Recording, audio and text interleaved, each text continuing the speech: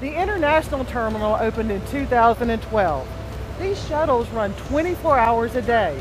So if you're flying out of the country, why not just hop on a free shuttle?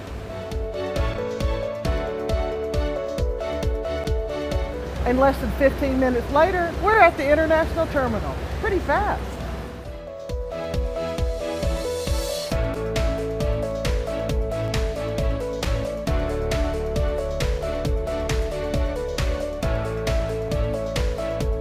If you've just returned from your trip abroad, then this is where you catch the shuttle back to MARTA.